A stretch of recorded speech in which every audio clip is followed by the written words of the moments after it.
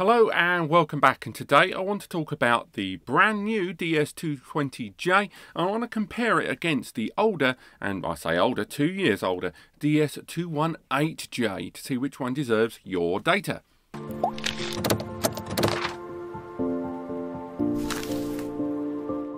So the brand new DS220J is coming. It's a brand new 2-bay cost-effective NAS solution from the guys at Synology. It serves as a much more cost-effective and affordable way for people to get an entry point into the world of Synology NAS and everything DSM and its client apps and NAS apps, graphical user interface via web browser apps and mobile apps and more can be utilized by you and your devices and back up your data. But this is not the first J series NAS that we've ever seen. In fact, this is probably like the seventh or eighth 2-bay.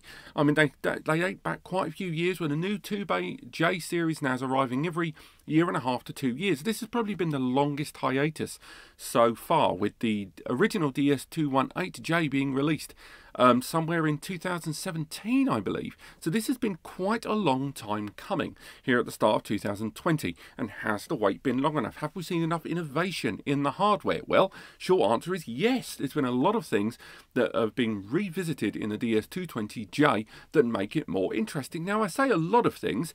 Let's be frank about this. It's one thing. One, one thing has been revisited in the case of the Synology DS220J, and that, if the specs aren't already on the screen, is the CPU. Both of these devices arrive with exactly the same chassis, the plastic white chassis that's no hot swapping, so it's a slide open device that can have two hard drives installed inside, supporting the very latest um, hard drives such as the 16 TB Seagate Iron Wolf series of drives, and of course WD Red 2 and their 12 and 14 TB series of NAS drives.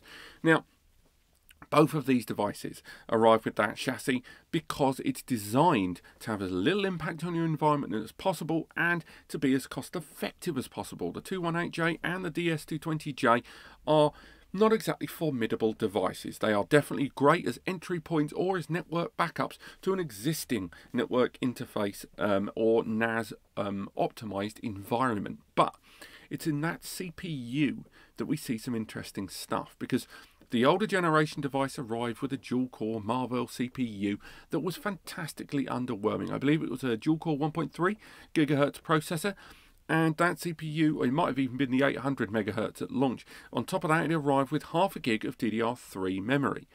The new NAS arrives with a quad-core Realtek based CPU, the RTD1296, a quad-core 1.4 gigahertz ARM 64-bit processor. That means it is not only better in every way than its predecessor in the 218J, it is almost double and more in some places in every single way. It means that the CPU in this new device has clearly been chosen because of the change in the way we use our data and the applications we want to use. And with that improved CPU, that CPU actually enables a great many things, which, because it's been featured in a few other um, 2018 and 19 devices, we know quite a lot about already. I mean, in the case of the 218J, when it arrived, it was clearly one of the weakest of the entire pack of DiskStation NASes when they were announced in 2017 and 18. But this CPU has been featured in some of their mid-range devices, the Realtek um, RTD1296, which is technically 4K transcoding enabled, but we are going to have to revisit that point in a second. Um, has featured on the likes of the DS118, the DS218, the DS418 and the DS218 Play.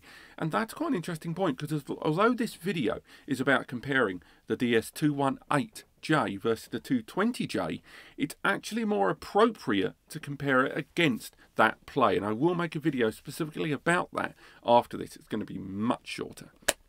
Now, the reason I keep adding a caveat every 9 or 10 seconds is because although that CPU is an enormous leap over its predecessor, the memory has not changed because, as I'm sure you've already seen on screen, the 220J arrives with half a gig of DDR4 memory. So, firstly, yay!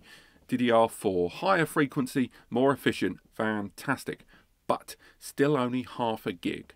That is going to serve as quite the most tremendous bottleneck. And although these devices are the same in loads of other ways, both featuring USB 3, both featuring a single RJ45 1 gigabit LAN port, both featuring the same CPU and weighing practically the same. I think there's 10 grams difference between them.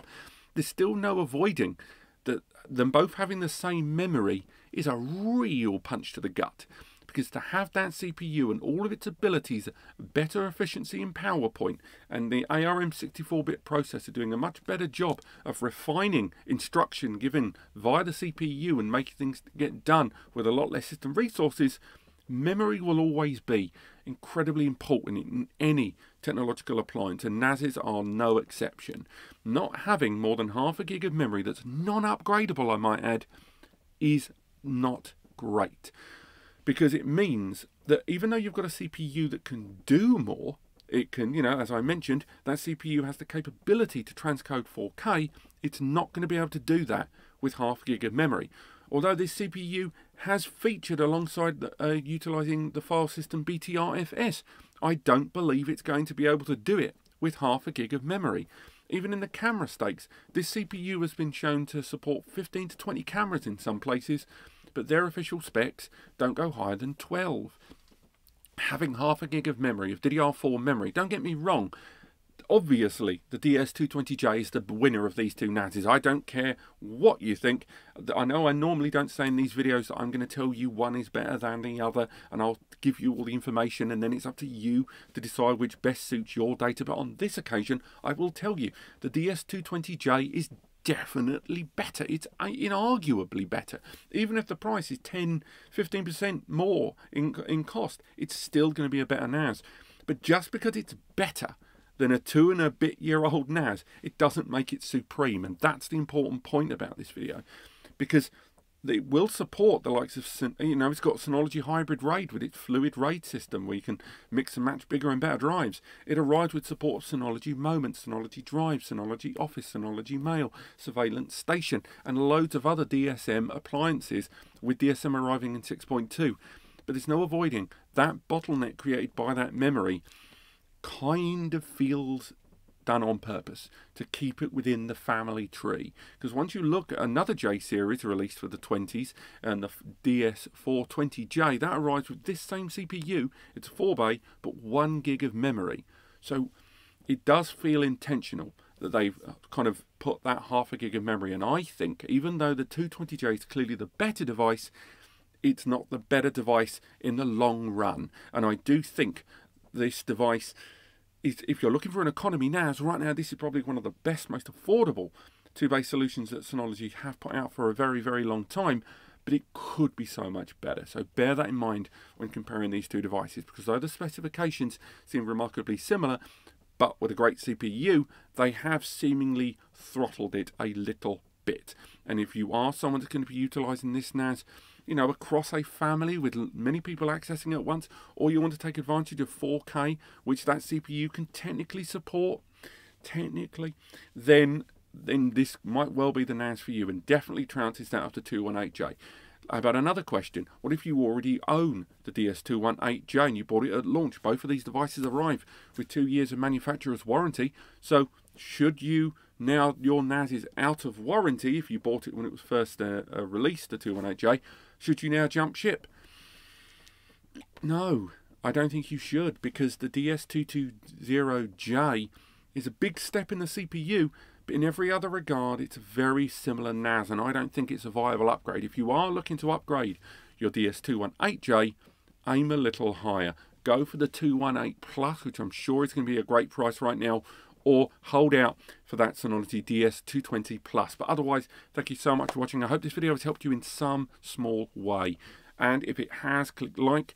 If you want to learn more about the new NASs as they get announced, go and pop uh, a pop button, uh, click the subscribe button, I should say. And of course, I'll see you next time.